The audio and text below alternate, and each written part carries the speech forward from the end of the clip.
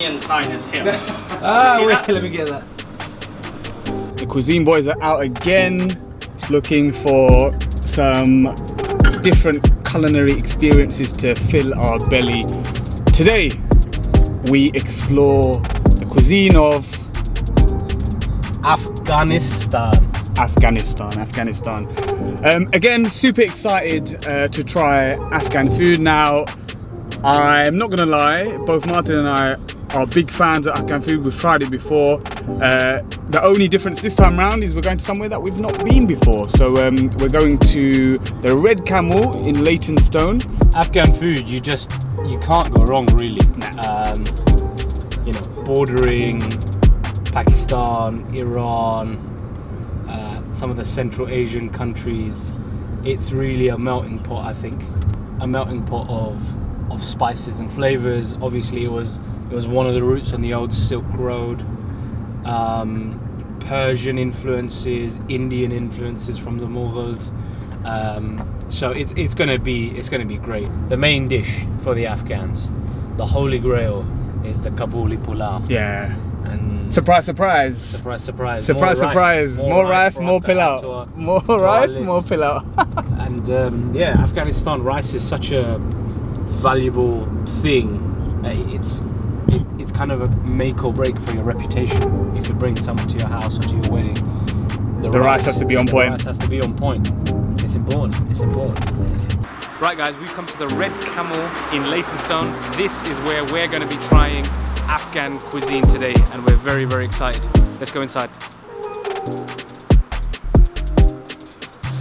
So we've got our food, and I'm telling you, this is so excited to try it. The spread is unbelievable. What we're going to do is we're going to try, uh, firstly, a very, um, very famous Afghani kebab.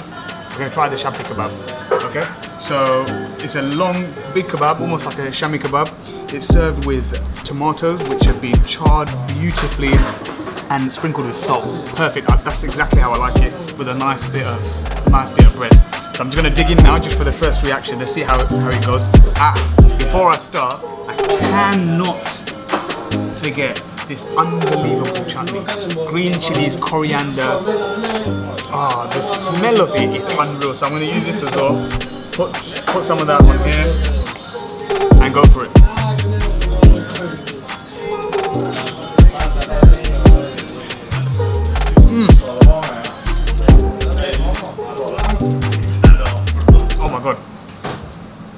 Oh my god. The tanginess of this.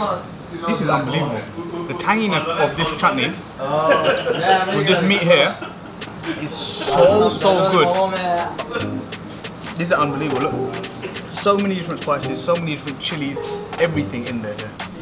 So we spoke earlier about how amazing a location Afghanistan is in. It's bordering obviously Persia, gets so many spices and influences from there. Over the years it's learned from the Mughal Empire, but crucially it's also influences from the Mongols in many ways. And one of the ways they've done that is through their noodles slash pastries slash dumplings, which you guys all know I absolutely love. So what we're going to try now is mantu, which is a traditional Afghan dumpling. Uh, and it's basically peppered with lentils. Spicy, not too spicy, but just spiced lentils. And then toppled is that amazing yogurt sauce which Afghans love in all of their food. I'm to cut this open and you can see stuffed in this amazing dumpling is lamb, a beautifully spiced uh, bit of lamb. So this is one of the national favorites in Afghanistan and it's one of my favorite dishes, one of my favorite dumplings. And you guys know how I love dumplings. Oh. Oh my god. That is just perfect. Perfect. You've got sauce everywhere, which is amazing. I love it saucy. The dumpling is the perfect consistency, cooked really well. It's got the right amount of doughiness to it, right amount of chewiness to it. And then that lentil, the big lentils, they're just soft, soft and, uh, got a little bit of crunch to it as well. All works wonderfully. All right, so now we're gonna try a dish, uh, Afghani dish, traditional dish called the ashak. Now, if you have a look at this plate, you wouldn't be fooled to, or you wouldn't be too surprised to think that, oh, actually, this looks like an Italian tortellini.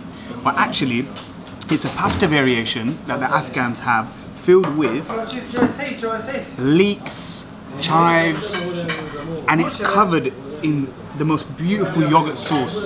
And as you would expect, look at how much lentils we get with it as well. Lentils on a bed of yogurt with yogurt topping.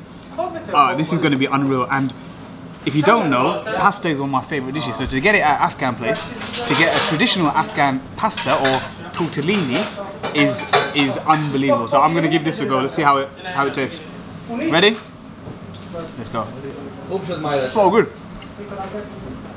It's so light.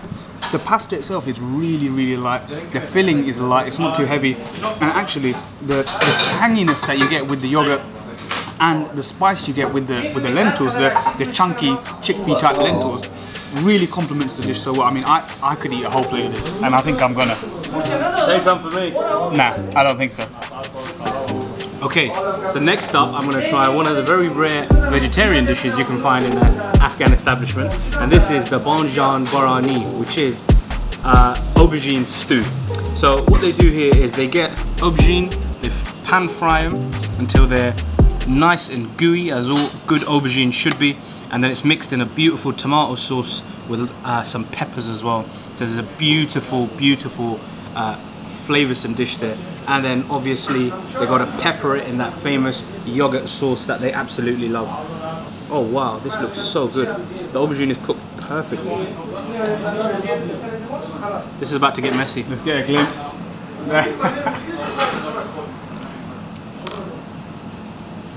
Oh my word, that is phenomenal. So good. Fresh aubergine. I love aubergine, unlike Naeem. But this is so, so good. It's cooked fresh, it's warm, it's comforting, it's soaked in that wonderful yogurt sauce as well. The flavors are exploding on my taste bud. Really, really good. A really highly recommended vegetarian option as well. Now, I've got the absolute pleasure of trying or having the first try of the showstopper itself, the Kabuli pilau. Now, to give you a brief introduction of this kind of showstopper here, we've got pilau rice, as you can see, a long grain rice, cooked with carrots, raisins, but also it comes with the most tender of meats. We've got here lamb. So you can see it's got a lot of fat to it as well. It's got a lot of flavor. I'm gonna go for it. Hmm. I'm lost for words. Ooh. When I tell you, you'd expect with all this kind of uh, with the carrots and the sultanas that you'll have some sweetness to it. You do, you have some sweetness, but it packs such a flavorful punch. It's got really, really good spices mixed to this. It might look, you know, a lot of people might say, oh, you know, it could be plain rice. It's not. You could have this. I could have all of this to myself. The flavors are unbelievable. Oh, this definitely is a showstopper. Wait, give me some. Give me some. Give, give, I want some. Right. So I've managed to wrestle the great Kabuli pulao of Naeem now, and now it's my time to try this bad boy. This is the national dish of Afghanistan. It's just so amazing, and it's associated with their rich culture. It's sweet, long grain rice that's cooked. It's got the perfect oily consistency, and then topped off is that lamb, slow cooked lamb that's got natural bits of fats in it and of course those fats are just left to ooze all over the rice it gives it the perfect perfect texture before I go in I'm gonna have to Oh, give it some no. of this you missed out on this Oh, no. this is the Afghani green chili sauce now this is literally just green chilies and coriander and it's just pummeled up it's such a good sauce you take a whiff of it and you just get that freshness going through your nostrils. It's so aromatic and even more flavoursome. You get a really good kick from it. Now I'm going to sprinkle a little bit of that over my rice. This is the best way to do it. And then you get a little bit of the fatty, fatty meat, bit of the rice. Make sure to get all the carrots and raisins in. Look at that. Cheers. Oh my word. Man, oh man, oh man. How good? That is phenomenal. That chili sauce works so well with the rice. I can like you eat this entire plate by myself. It's so good. It's so fragrant. It's got all of the right flavors in, and then you know that distinction, that juxtaposition between the sweetness of the carrots and the sultanas, and then the tanginess and the chilliness of that green chili sauce works so well together in the mouth. You have to try Kabuli pilau.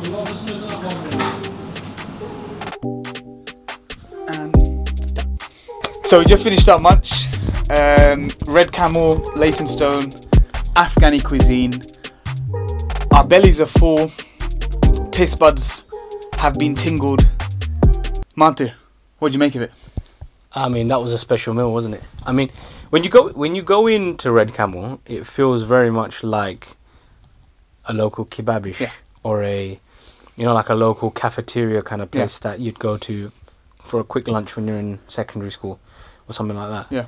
Um, so uh, I, I welcome that. I mean, that gave it an, an element of homeliness and a warm feeling, which I liked. It felt very much like a canteen, which I liked. And then the food Modesty. was modesty. Yeah, it was modest. It was humble, but you try the food and it is incredible. It, it tasted better than many, you know, elite restaurants, Afghan elite Yeah. restaurants, Irani, Persian elite restaurants that I've eaten the food at. So, you know, you can't discredit the food at all. It was very, very good. Um, we got a variety of things. We tried pretty much um, as much as our belly could take, I think.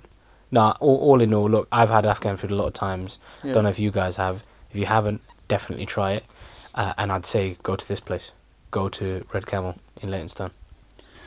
We had things with meat, we had vegetarian options, we had different kind of flavors, and what what made me what surprised me a bit. Now I've I've had Afghani cuisine before, a few times, and the places that we go to are very very focused on meat, and mm. of course the Kabuli pilau. So you've got your staple, the showstopper, you got that. But what we had there, we had like a aubergine stew. That was very different. I've not never tried an Afghan auberg- aubergine stew. I'm a big fan of pasta, and to see a very traditional Afghani pasta dish on the menu with your lentils, with the yogurt, um, was very, very interesting and, and quite surprising for me. So I really enjoyed that.